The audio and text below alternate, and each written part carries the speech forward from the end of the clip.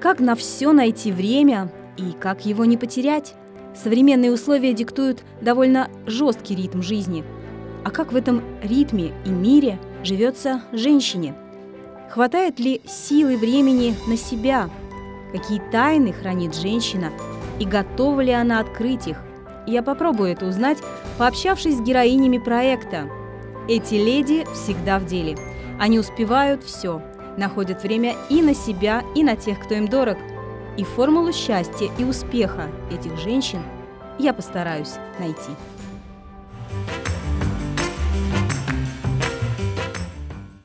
А знаете, есть в жизни такие истории, после которых многое осознаешь заново, переосмысливаешь. Такова история моей сегодняшней героини программы «Леди в деле» Светланы Паршиной. Она о многом заставляет задуматься.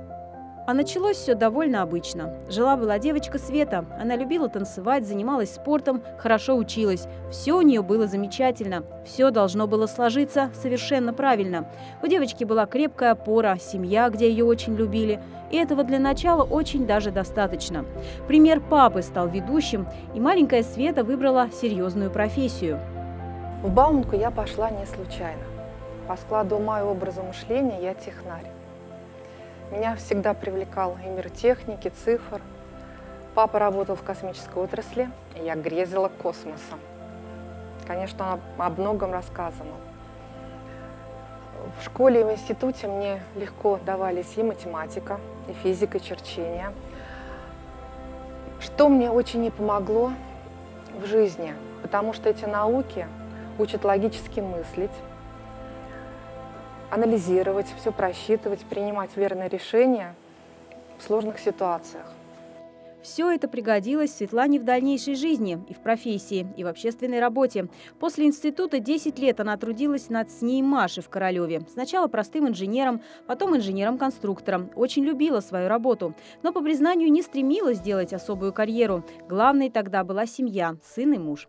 Однако наступили 90-е, а это очень тяжелый период, как в финансовом, так и в человеческом плане. Потом началось повальное увольнение сотрудников, но Светлана не осталась без дела. Тем более наступило время отдавать сына в детский сад. И пошла она туда работать нянечкой. Тогда люди с высшим образованием за что только не хватались, чтобы выжить. Потом ей удалось устроиться программистом в Московский университет потребительской кооперации в Мытищах. Но жизнь тогда уже мамы, жены и взрослой женщины разделилась и надломилась. Очень сильно изменилась. В 1996 году Светлане сделали неудачную операцию на позвоночнике, после которой она утратила способность ходить. Врачи не давали никаких гарантий. Это был шок, потому что рушились все планы – все перспективы, все надежды. Но надо было жить дальше. Ради сына, мужа, семьи, преодолевать боль. Самое главное, не скатываться до чувства всемирной жалости к себе, которое очень захватывает. И тогда открывается сила, и появляется готовность поделиться ими с другими – Тогда несчастье сплотило семью. На руках был пятилетний сын, самый главный стимул продолжать борьбу. Были, конечно, и попытки встать на ноги, однако оказались они тщетны. Испытания, которые выпали на долю героини, очень сблизили ее с сыном. Но, к сожалению, муж не выдержал испытаний, он ушел из семьи. Сейчас сын – главная опора Светланы и гордость. Он так же, как и мама, закончил Бауманский университет, работает в лаборатории Касперского. К общественной деятельности, которой сегодня активно занимается Светлана, Ивану он относится с пониманием и уважением, часто помогает. Как-то всю весну, как говорит она, в выходные вместе с ним они проверяли состояние городских тротуаров и пешеходных переходов, составили карту, сын сфотографировал все недоступные места для инвалидов. Когда ты попадаешь в больницу, реабилитационный центр, ты ищешь, хватаешься за всех специалистов – читаешь литературу. Конечно, ищешь, конечно, встречаешься. Конечно, ждешь помощи, но никто ничего не гарантирует. Работай, работай. Но когда уже повреждение спинного мозга, здесь разговоры короткие. Вся жизнь Светланы Паршиной изменилась в корне. Многому пришлось учиться заново. Но на то она и героиня, что не сдается в любом случае, как бы судьба ни пытала на прочность. Конечно, все было. Через это проходят все, через паники, нежелание жить и прочее, прочее, прочее. Но настолько, с другой стороны, хочется жить, просто хочется. А в жизни столько всего интересного. Да, столько хочется увидеть, посмотреть, сделать. И пусть все очень изменилось, все же Светлана решила не сдаваться. Купила по льготной цене машину, получила права. Сев за руль, обрела хотя бы частично свободу и независимость. А еще ей помогли ее любимые танцы и спорт.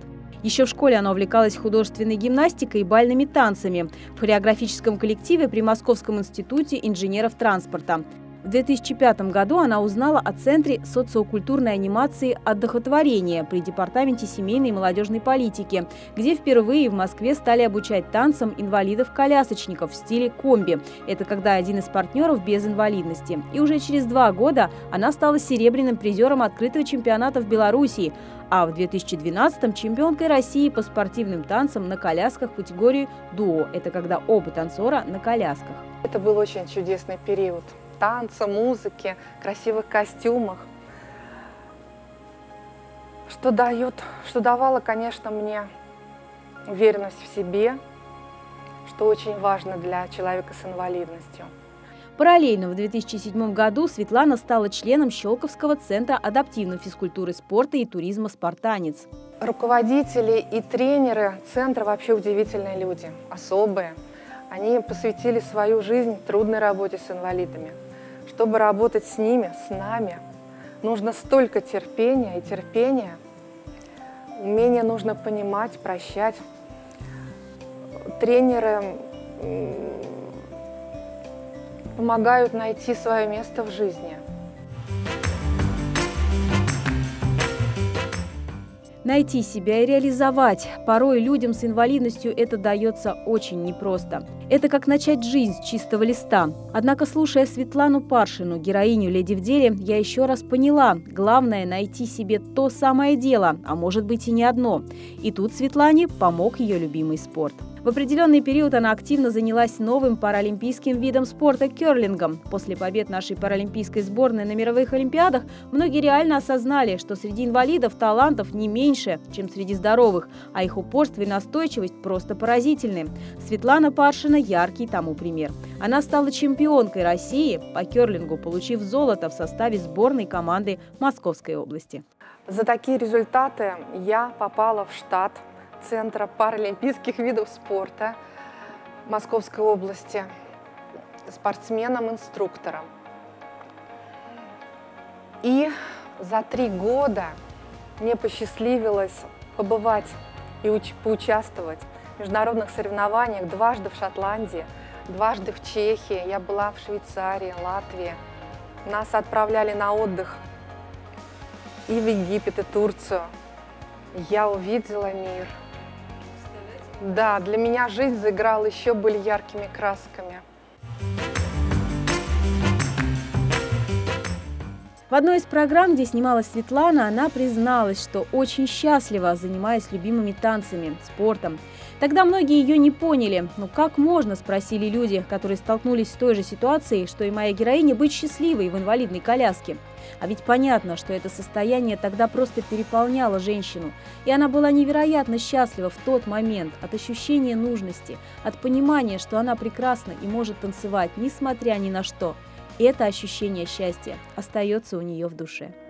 Я иногда думаю, вот я, если бы осталась, также работала инженером, семья была, ну, может, еще родила детей бы.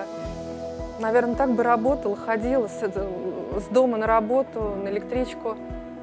А вот инвали... стала инвалидом, а жизнь-то стала у меня интереснее. Да, она тяжелая, но она настолько интересная у меня.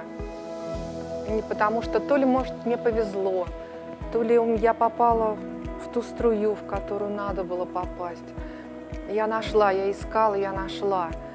Она искала, она не сдалась, она выиграла. Как важно, что изначально заложено в нас – воспитание, примеры, качество.